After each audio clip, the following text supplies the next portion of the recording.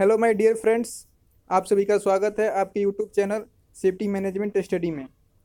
Friends काफ़ी comments आ रहे थे कि क्रेन सेफ्टी पे वीडियो बनाइए, यानी क्रेन वर्क से रिलेटेड कुछ हेजर्स बताइए, कुछ प्रिकॉशंस बताइए। तो सो फाइनली मैंने डिसाइड किया कि क्रेन सेफ्टी पे वीडियो बनाया जाए। तो आज के वीडियो में हम डिस्कस करेंगे क्रेन सेफ्टी के बारे में, जिनमें हम मेनली बात करेंगे उनके कुछ हेजर्स उनके क्या इफ़ेक्ट्स हैं और कुछ प्रिकॉशंस तो इन तीन टॉपिक पे आज हम बात करेंगे। और जहाँ तक बात करें क्रेन की तो क्रेन बहुत प्रकार के होते हैं। जैसे आप देख पा रहे हैं, फिगर में टावर क्रेन, मोबाइल क्रेन, यानी लॉट्स ऑफ़ क्रेन्स हैं, जिनकी मदद से हम लिफ्टिंग वर्क करते हैं। तो इन सारे से जो कॉमन हेजर्ड्स हैं, उनके बारे में डिस्कस करेंगे हम। तो चलिए, आज की वीडियो को हम शुरू करते हैं। तो फ्रेंड्स, क्रेन से लिफ्टिंग के दौरान जो हमारे कॉमन हेजर्ड्स हैं, उनमें एक हेजर्ड है electrical hazard, by over power line यहाँ पे जैसे आप फिगर में देख पा रहे हैं कोई भी अगर ओवरहेड पावर लाइन सप्लाई जा रही है, क्रेन के पास से, यानी जहाँ भी क्रेन ऑपरेशन चल रहा है, क्रेन से काम लिया जा रहा है, लिफ्टिंग का काम हो रहा है, अगर वहाँ पे कोई भी ओवरहेड पावर लाइन सप्लाई है, जिसमें इलेक्ट्रिसिटी फ्लो कर रही है और वो इंसुलेटेड नहीं है तो वो हमारा एक हेजर्ड है, वो इलेक्ट्रिकल हेजर्ड है, उसे हमें इलेक्ट्रिक शॉक लग सकता है। इसके इफ़ेक्ट देखिए इफ़ेक्ट में crane operator can get electric shock जो भी क्रेन ऑपरेटर है या जो भी वहाँ पे वर्कर काम कर रहे हैं, उनको इलेक्ट्रिक शॉक लग सकता है। क्योंकि अगर क्रेन का boom electrical live power supply से टच करता है तो इलेक्ट्रिक फ्लो कर जाएगा क्रेन के अंदर जिससे कि क्रेन ऑपरेटर और वो भी वहाँ पे जो वर्कर हैं, उनको इलेक्ट्रिक शॉक लग सकता है। और इलेक्ट्रिक शॉक से क्रेन भी डैमेज हो सकती है। तो इसके कुछ प्रिकॉशंस है, आइए देखते हैं प्रिकॉशंस तो प्रिकॉशन देखिए according to OSHA it is recommended to maintain ten feet distance between crane and live power line supply यानी ओसा के द्वारा ये रिकमेंड किया गया, यानी सलाह दिया गया है कि कम से कम टेन फीट की डिस्टेंस मेंटेन करेंगे लाइव पावर सप्लाई के बीच में और क्रेन के बीच में। यानी क्रेन और लाइव पावर सप्लाई के बीच में कम से कम टेन फीट की डिस्टेंस रहनी चाहिए, ताकि हम उसमें छूने से, उसे टच करने से अवॉइड कर सकें। और जो हमारा सेकेंड पॉसिबल प्रिकॉशंस हैं वह if possible de-energise the electricity. अगर पॉसिबल है तो इलेक्ट्रिक सप्लाई को ऑफ़ कर देंगे, कट कर देंगे, अगर पॉसिबल है तो। और जो थर्ड है use insulated cover on the live electric wire यानी जो भी लाइव इलेक्ट्रिक वायर है, उन्हें इंसुलेटेड कर देंगे, यानी इंसुलेटेड कवर लगा देंगे उस पर ताकि अगर बाई मिस्टेक टच भी होता है तो इलेक्ट्रिक फ्लो नहीं हो पाएगा क्रेन में तो हम इसे इंसुलेटेड कर देंगे। पाइप्स आते हैं इंसुलेटेड कवर वाले, उसको हम उस पर पहना देंगे, उस पर इंस्टॉल कर देंगे। और जो फोर्थ है ए पॉइंट ट्रेंड रिगर एक ट्रेंड रिगर को अपॉइंट करेंगे, ताकि वो क्रेन ऑपरेटर को डायरेक्शन दे सके कि कैसे काम करना है, कैसे आपको बूम मूव करना है ताकि उसमें टच होने से अवॉइड किया जा सके। और जो फिफ्थ है provide warning sign and devices हम वार्निंग साइंस वहाँ इंस्टॉल करेंगे डिवाइसेस इंस्टॉल करेंगे ताकि क्रेन ऑपरेटर को नोटिफिकेशन मिल सके, उसे वो देख के समझ सके कि यहाँ पे कितनी लिफ्टिंग करनी है, कितनी हाइट तक, ताकि वो इससे बच सके इलेक्ट्रिक हेजर्ड से।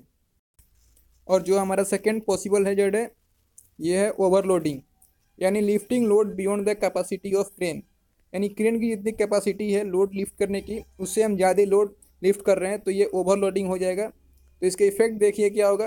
क्रेन कैन ओवरटर्न रोप और स्लिंग कैन बी ब्रेक यानी ओवर लिफ्टिंग के चलते क्रेन हमारी पलट सकती है, और जितने भी रोप्स हैं, जो स्लिंग्स हैं, जिससे कि हम लोड को सिक्योर करते हैं, बाँध के उठाते हैं, वो टूट सकता है, जिससे कि जितने भी वर्कर नीचे काम कर रहे हैं, या जो भी रीगर है, वो इंजर्ड हो सकता है। तो इसके प्रिकॉशंस देख लीजिए। Never lift any load beyond safe working load कोई भी अगर लोड है, हम लिफ्ट कर रहे हैं तो उसकी सेफ़ वर्किंग लोड देखेंगे कि ये उतनी लोड उठा सकता है कि नहीं क्रेन तभी हम उसे लिफ्ट करेंगे। उससे ज़्यादा कैपेसिटी की लोड कभी लिफ्ट नहीं करेंगे। और जो सेकेंड है check the load of the material before lifting same बात लोड चेक करेंगे, जितने भी मटेरियल को हम लिफ्ट कर रहे हैं, उसकी वेट कितनी है, उसके अनुसार हम क्रेन का यूज़ करेंगे और लिफ्ट करेंगे। जो हमारा थर्ड कॉमन एजेड है, ये है मटेरियल फॉलिंग यानी लिफ्टिंग के दौरान किसी भी मटेरियल का गिर जाना, छूट जाना, गिर जाना, जो तो इसके इफ़ेक्ट देखिए क्या है? Worker and rigger can trap under falling material जो भी मटेरियल गिर रहा है, उसके अंदर वर्कर या रीगर ट्रैप कर सकते हैं, यानी फंस सकते हैं, दब सकते हैं, उससे चोट लग सकते हैं, उन्हें वो इंजर्ड हो सकते हैं। तो इससे कुछ प्रिकॉशंस देखिए। Secure the material properly with rope और स्लिंग जो भी मटेरियल हम लिफ्ट कर रहे हैं, उसे स्लिंग और रोप से प्रॉपरली सिक्योर करेंगे, यानी अच्छे से बांधेंगे। और ओवरलोडिंग भी नहीं करेंगे। और जो सेकेंड है बैरिगेड द वर्किंग एरिया जो भी जितने भी दूर में काम हो रहा है लिफ्टिंग का, उसे बैरिगेड करेंगे ताकि कोई भी अननेसेसरीली वर्कर या कोई भी अदर वर्कर जिसके यहाँ पे काम नहीं है, वो इंटर ना कर पाए, जिससे कि वो इंजर्ड होने से बच सके। हमारा जो फोर्थ कॉमन हेजर्ड है, ये हेजर्डस वेदर यानी खतरनाक मौसम, जिसमें आपका हेवी रेन हो सकता है हेवी विंड हेवी लाइटिंग ये सारे हेजर्डस वेदर हैं। इनसे भी हमें बहुत सारे नुकसान होते हैं। तो देखिए क्या होता है crane can be overturn crane can be damage यहाँ पे मिस्टेक हो गया, यहाँ पे क्रेन होगा। तो देखिए, अगर हेवी विंड में हम लिफ्टिंग कर रहे हैं तो इससे हमारी लोड बहुत तेज़ी में हिलेगी, डुलेगी इधर से उधर, जिससे कि हमारी क्रेन की पलटने की चांसेस ज़्यादा हो जाती हैं। और अगर लाइटिंग हो रही है, यानी बिजली चमक रही है तो क्रेन पे बिजली गिर सकती है, जिससे कि चलते क्रेन डैमेज हो सकता है क्रेन ऑपरेटर को डैमेज कुछ पहुँचा सकता है। तो ये सारे हेजर्ड्स हैं हेजर्डस वेदर तो इन सारे मौसम में भी हम काम नहीं करेंगे। देखिए प्रिकॉशंस में do not operate crane in hazardous weather यानी जब भी हेजर्डस वेदर हो तो यहाँ उस समय हम क्रेन को ऑपरेट नहीं करेंगे, यानी क्रेन से काम नहीं लेंगे।